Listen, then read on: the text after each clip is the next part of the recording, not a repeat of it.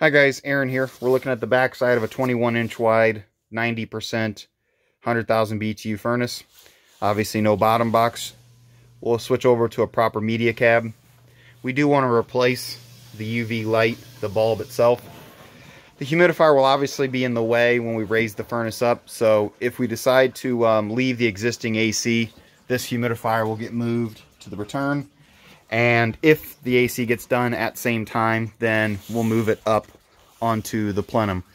We've got about 1300 CFM on the supply and return side, about 1400 on the drop itself.